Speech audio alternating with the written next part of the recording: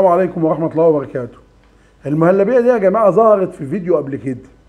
وأنا ما أكلتهاش ساعتها لأن كانت الكفتة يا جماعة ما حصلتش بجد الكفتة دي لازم تعملوا الكفتة دي، لازم تعملوا الكفتة دي جميلة جدا ومظبوطة وخلي بالكم الكفتة دي عاملة زي الكيك أو زي البسبوس ممكن تيجي تعملها تلاقيها انهارت تلاقيها ما بقتش كفتة بقى بقت حاجة تانية ناكلها بالمعلقة خلاص فأنا الفيديو ده أنا ساعتها دخلت ما دقتش المهلبيه واقول لكم رأيي فيها. إحنا بنعمل الفيديوهات ليه؟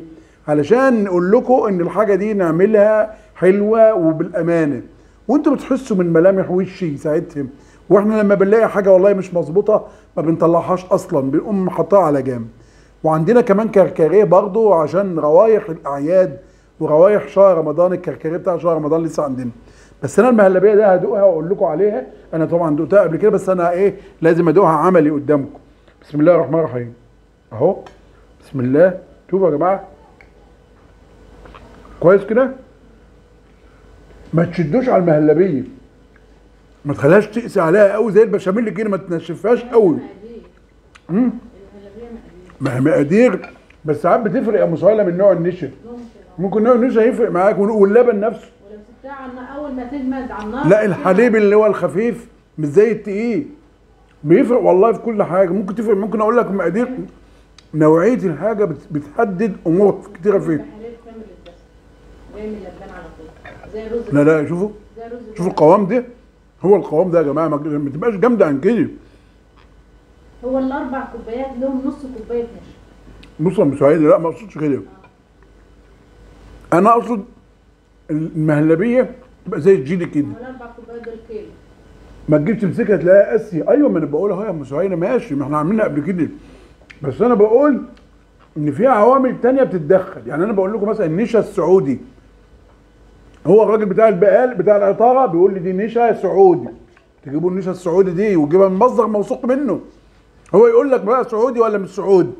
لأن النشا دي كنا مجربينها من زمان ومظبوطة. يعني لما بنطلع عنها بتلاقي الوصفة ممكن تتأثر أو تبوظ. شوفوا الجمال شايفين؟ آه شوفوا بقى مش مش ناشفة قوي. مش أنا قلت لكم تبقى زي الجي أهي أهي. شوفوا من لو نشف ما تنشفهاش عن كده. نشفها عن كده هتاكل هتاكل حاجة جامدة. قاسية. يعني لو النشا مقدارها مش مظبوط هتبقى تجمد هي لا. ولو زود التسوية أكتر. لو انت زودتها على النار شوية كتار أو سبتها حتى بعد ما طلعتها على النار دايما إيدك فيها. في نفس الحله اللي هي معمولة فيه هتقوم نشف تنشف مني فدي حاجة لازم تعملها صح. وأنا عايز اوصيكم على فيديو الكفتة بتاع امبارح ده. أنا تاني يوم العيد. الكفتة دي يا جماعة ما حصلتش. هي هتطلع النهارده بال... نعم؟ الناس اللي. الناس والله جم هجموا علينا من الريحة وصلت للبيوت اللي جنب اللي جنبنا. وسالونا فين موجود لسه. عجبني قوي في ناس طلبونا لسه فين موجود جميلة دي من أجمل الوصفات. وتفرح الناس الصغيرين اللي زي في السن اللي بيحبوا يفرحوا. بتعمل باكة في البيت والله يا جماعة. وسهلة. بس انت حط لها المقادير مظبوط والمقادير من مصادر موثوق منها هم لما يجربوا الوصفه هيقولوا لك في التعليقات هي ظبطت معاهم ولا لا يا. مم.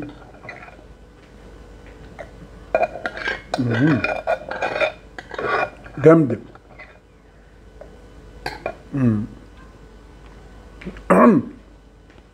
وانت وإمكانياتك بقى ممكن تزودها بقى مكسرات هنا بندق فستق لوز جوز زي ما انت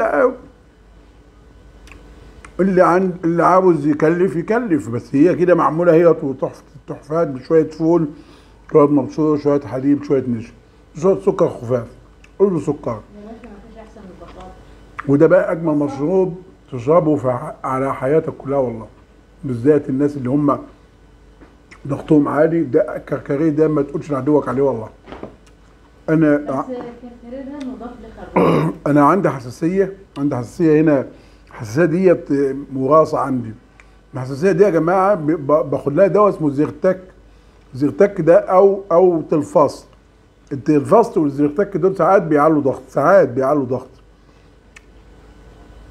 فأنا كوباية كركديه من دي في اليوم تقوم ظابطة لك الإيه؟ الزيادة في الضغط دي.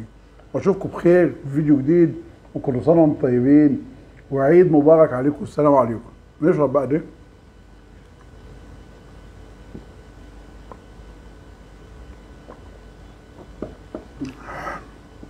عالمي. صوبة.